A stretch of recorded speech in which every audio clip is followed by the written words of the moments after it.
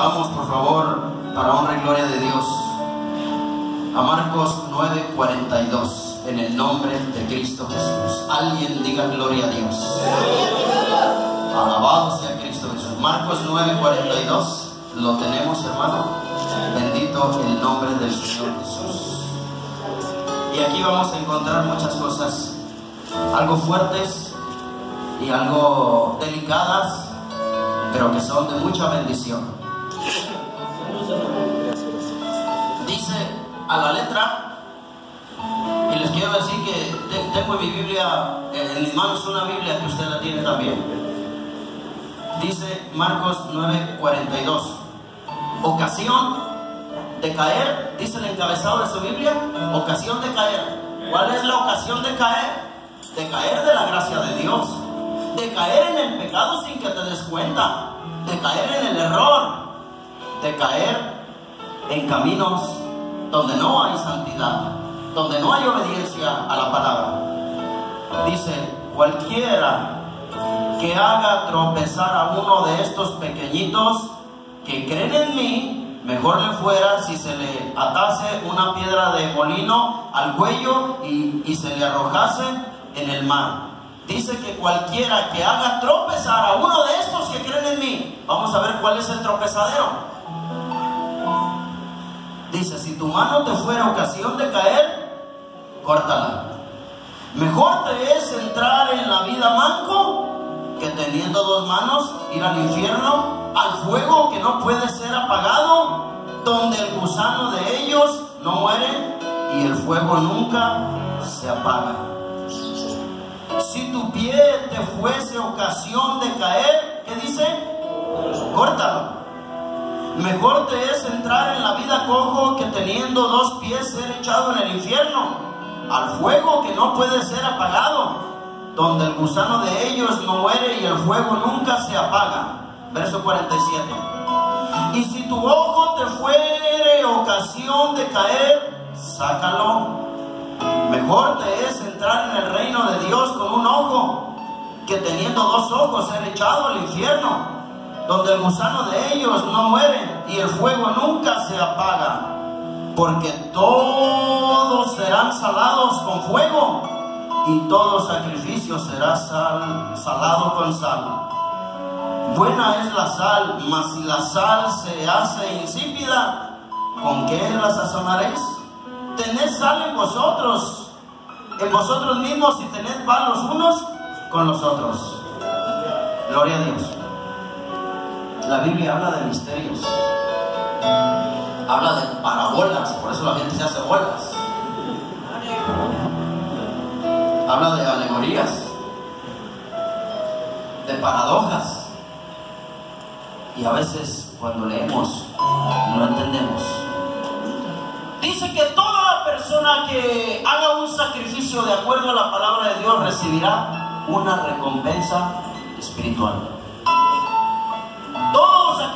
será salado con sal. Buena es la sal.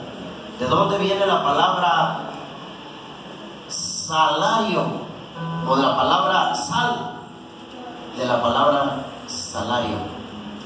A los romanos cuando trabajaban en aquellos tiempos no les pagaban con dinero, les pagaban con sal y ya podían comercializar la sal. De ahí viene la, paga, la, la palabra salario de la palabra sal viene la palabra salario. Entonces se les pagaba con sal, que es una recompensa económica. Por eso la Biblia habla de que todo buen sacrificio será recompensado, será pagado con un salario espiritual. Dice la palabra de Dios, si tu mano es ocasión de pecado, córtala no se refiere, hermano, a que tú la cortes con un machete o vengas con el hermano Gámez. Hermano, por favor, corte mi mano, por favor, dale un machetazo. ¿Por qué? Porque me peleé. ¿Con quién, hermano? ¿Con alguien que le hizo? No, con mi vieja. Ay, Señor. Todavía peor. Mi esposa. Fíjese que le di un cachetadón. ¿Por qué? Porque me gusta una comida que ya sabe que no me gusta. Qué espiritual me saliste. Ah. ¿A qué se refiere cuando dice corta tu mano? ¿Eh? ¿Tú pagas con un billete de 100 en un negocio y te dan cambio de 200? ¡Ay, qué bendición! No. Corta con esas malas acciones. Si estás esperando el camión y tú ves que una persona va tras el camión y se le cae un billete de 50 y tú estás esperando la ruta que te lleva a tu casa y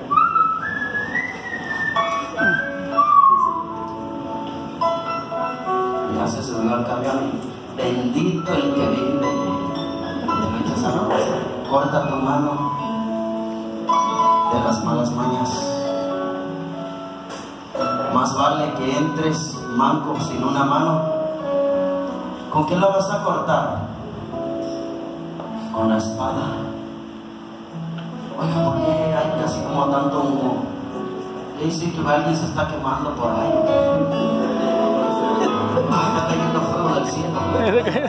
Oiga, pero si es Sodoma ni Gomorra.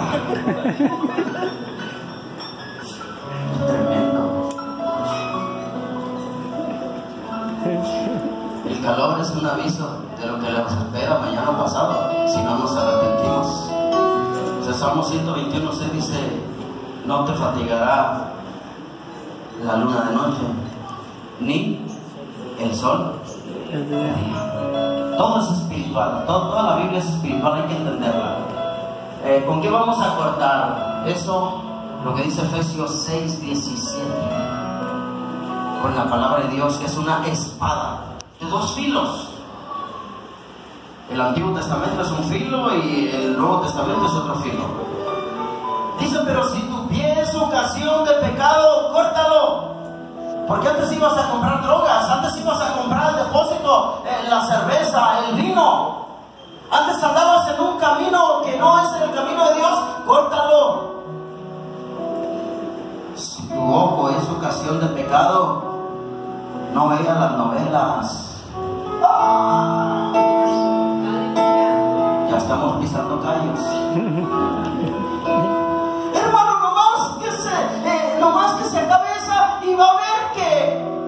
aviento la otra. Sea todo vuestro ser irreprensible para la venida del Señor, espíritu, alma y cuerpo. Porque en otras iglesias dicen, hermano, no importa cómo se vista, hermana. Es que saben que, hermana, póngase un pantalón. Porque Dios es amor, Dios lo único que quiere es el corazón. Bonito habla el pastor, pero qué equivocado está.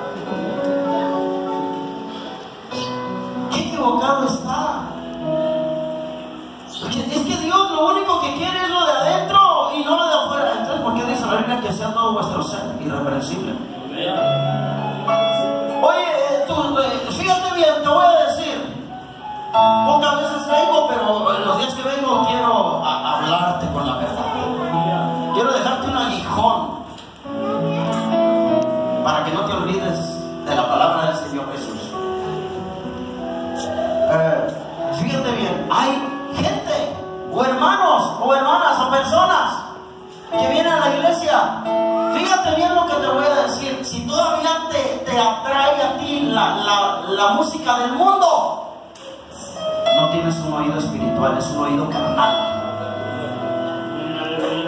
Si a mí me atrae la música del mundo, quiere decir que todavía tengo deseos por lo mundano. Hermano, cuando yo escucho una, una, una eh, de un artista, un desgraciado que vaya al infierno, ¿cómo voy a escuchar yo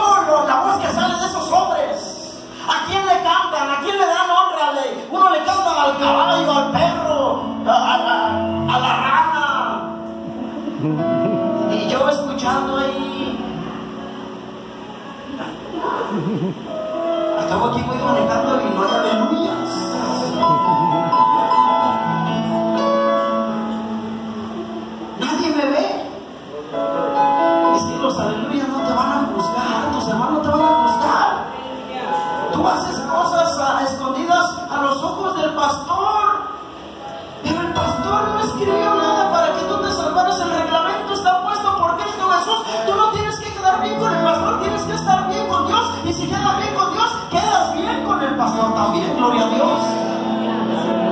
El pastor tiene que predicar lo que está escrito en la palabra, se enoje quien se enoje.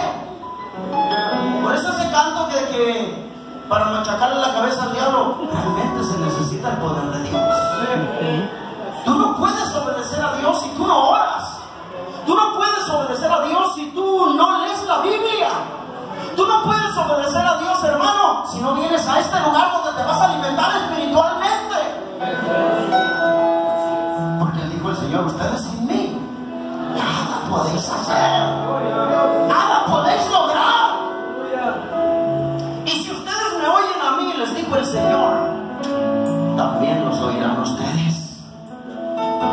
Y hay gente que quiere predicar y se sale de aquí y se va a predicar y no oyó al Señor. Ah, pues cuando se ponen por ahí con sus iglesitas nadie los pela, ni siquiera el peluquero. ¿Por qué?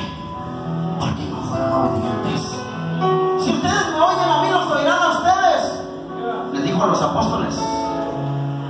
Y ahí estaba Judas.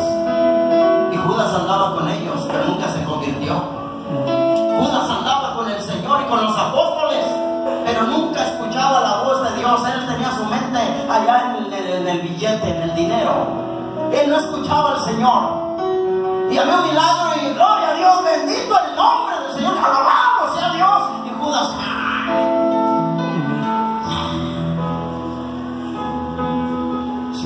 oyen a mí, lo sabrán ustedes. Por eso oyeron a los apóstoles después de que murió Cristo y a Judas nadie lo oyó porque Judas murió. Cuando el Señor eh, habló diciendo yo soy la vid ustedes son los pámpanos. Yo soy la vid del tronco, yo soy la vid verdadera, yo soy la vida. Les quiso decir, el que esté separado de mí nada podrá hacer. Separados de mí nada podéis hacer. Y cuando se separan de mí, se secan, se mueren. Hay hermanos que se creen ambos y no vienen a la iglesia.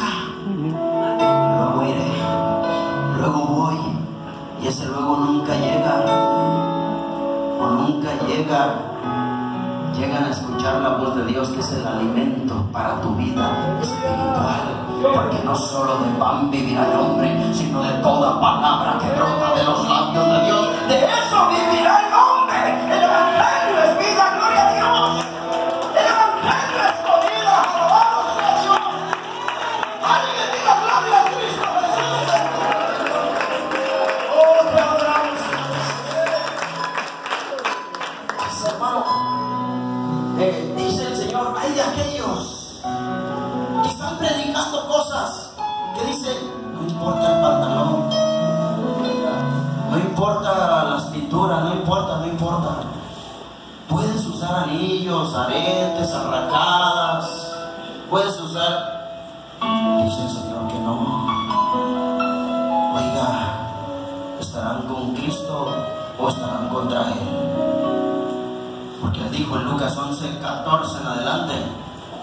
no es conmigo, contra mí es. Porque no todo el que me dice Señor, Señor entrará en el reino de los. Porque no harás uno de tus cabellos blanco o negro. Ay, pues aquí dice de blanco y negro, pero no está prohibido el rojo, gloria a Dios. Ay,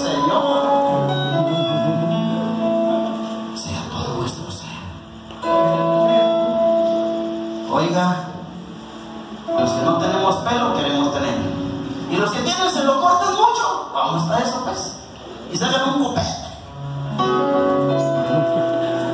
Ahí está el pájaro loco. Alabando al Señor. Esos peinados eh, modernos que entran. Y es que, hermano, es lo que se está usando. Usted no ha escuchado la alabanza que dice, y el que no brinca no va para el cielo, que no brinca no va para el cielo. Ah, caray. Sean nuestros cánticos a Dios en lo más profundo de nuestros corazones. El modernismo está entrando en las iglesias. Tengamos cuidado. ocasión de pecado, no veas novelas. Porque en medio de las novelas sale pornografía, gente con ropa, mujeres semidesnudas, haciendo escenas como de teniendo relaciones sexuales, mujeres que salen en bikini. Dice que la lámpara del cuerpo es el ojo. Si nuestro cuerpo es oscuridad, nuestro, nuestro ojo también será oscuridad. Pero si nuestro cuerpo es luz, nuestro ojo será luz. Que voy a andar viendo novelas yo, escuchando los albures y las malas palabras y las novelas modernas que están saliendo, que están cautivando, que hablan de los narcos y que esto, ¿sabe qué? Al que no es narco está por hacerse, se hace porque en la novela lo invitan a eso.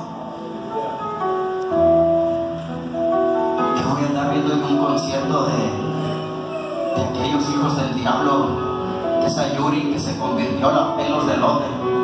Ay, la hermana Yuri. La hermana Yuri con pelos de lote. Y aquí ves más, ahí está mi pastor. También es un hijo del diablo. O sea, al infierno se va a ir. Hay de aquellos que hacen caer aún Por no corregirlo. Por no corregirlo. Va a ir al infierno y tú te vas a ir junto con él quiero decir algo. Una vez, una hermana de una iglesia, ya van tres ocasiones que me dicen eso.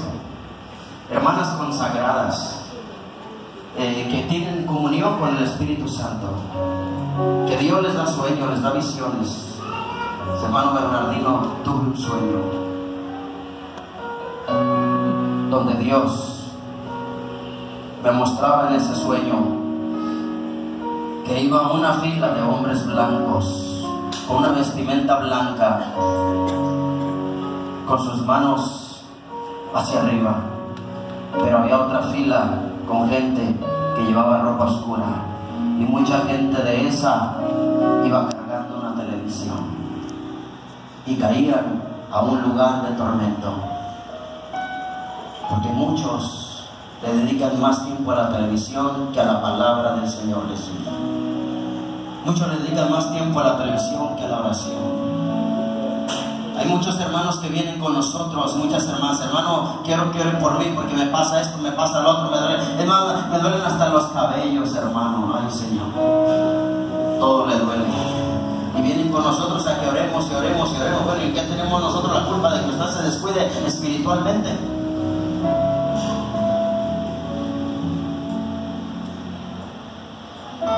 pecado trae consecuencias. Pero otro pecado le va a traer más consecuencias. Hay hermanos que están aquí, o personas que están aquí, que lo mismo le da que se les predique una cosa que otra. Al cabo, ellos no hacen caso. No cambian. Son los mismos. De modo que si alguno está en Cristo, hay un testimonio. Nueva criatura es todas las cosas viejas pasaron, todo es hecho nuevo. Y por ser niño recién nacido, desea la leche espiritual no adulterada, para que por medio de ella crezcáis para salvación, para vida eterna. Hay, personas que vienen, pero no cambian, no hay fruto espiritual en ellos. Hay ocasiones que me hablan por teléfono o Guadalajara o donde quiera que le recibo la llamada y me dicen, hermano Bernardino, queremos invitarlo porque fíjense que tenemos una hermana que falleció, hermano. ¿Quién falleció? Una hermana Cuquita. Ay, Señor de la Gloria. Qué tremendo. Bueno que disfrutó de un buen testimonio. Pero a veces, o sea, va uno y uno se goza hablando de, la persona que murió, porque tuvo un buen testimonio. Digo, hermano, cuando muera uno que no tiene buen testimonio, mejor ni me inviten. Dios bendiga hermano que nunca venía a los cultos, gloria a Dios. Dios bendiga a la hermana chismosa que traía todas las hermanas de cabeza. Ay, la hermana tan mitotera que era, ahora quién podrá defenderla.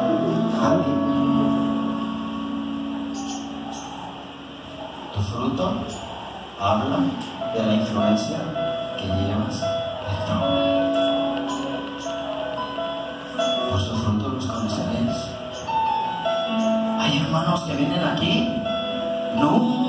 sueltan una lágrima porque están secos. Pero hay hermanos que lloran, están dando un testimonio, están llorando, están cantando, están llorando, cierran sus ojos. Y otros con los ojos bien pelones.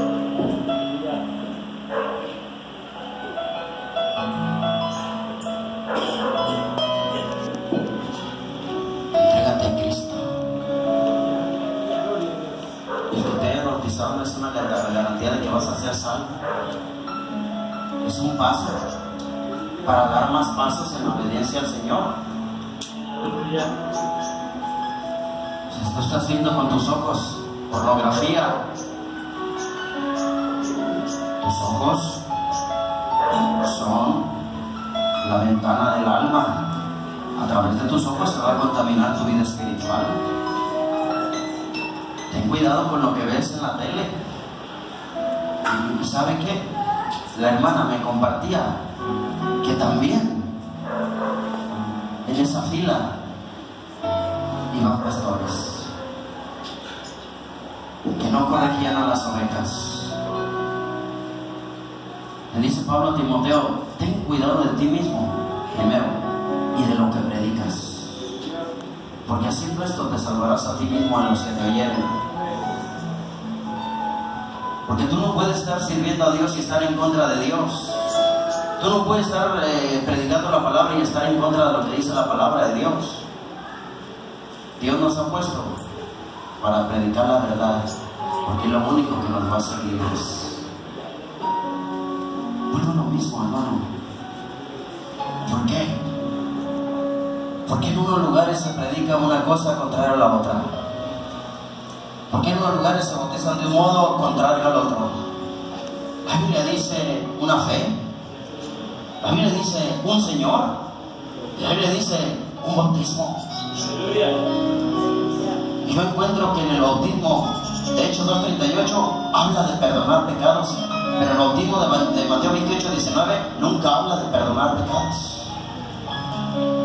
Jamás. Ah, pero lo importante es servir al Señor. ¿Y cómo le está sirviendo? Para servir hay que estar sirviendo. Hay que estar viendo para servir. Sirviendo hay que ver para poder servir. Porque no todo el que me dice, Señor, Señor, entrará en el reino.